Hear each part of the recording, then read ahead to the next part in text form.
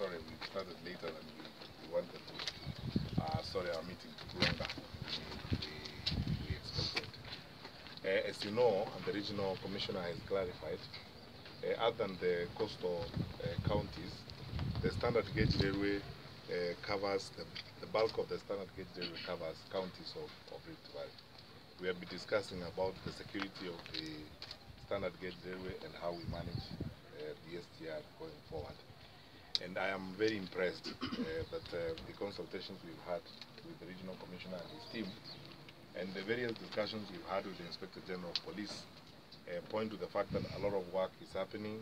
We have emphasized the need for public awareness, increasing the education of the members of the public on how they interact and how they deal with the, SGR, especially uh, Narok, that we have spent time on this afternoon uh, covering the areas of uh, Transmara and we have looked at how we will come up with uh, uh, long-lasting solutions to uh, how we need to uh, handle that going in the future.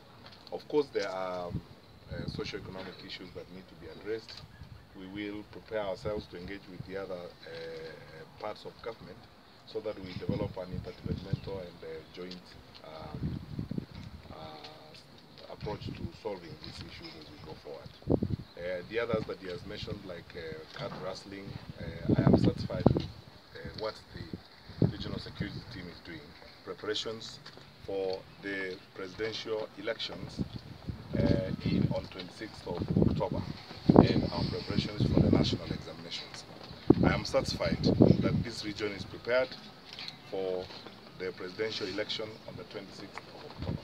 We've discussed this extensively and the plans that have been made by the regional security teams, both from a national government administration uh, point of view and from the national police uh, service point of view, we are totally ready and I'm satisfied with the plans that uh, I have seen are in place.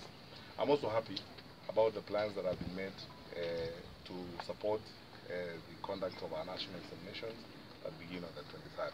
So I can safely say, as I said on Friday uh, when I met the police commanders, that we are totally ready uh, to facilitate the IEBC to conduct the presidential election on the 26th of October. We are totally ready because when you sample out a region as big as Rift Valley and look at their 14 counties and look at the plans they have done and you listen to every detail of what they are doing, uh, you get uh, the accurate impression you need to get about our preparation. We are ready.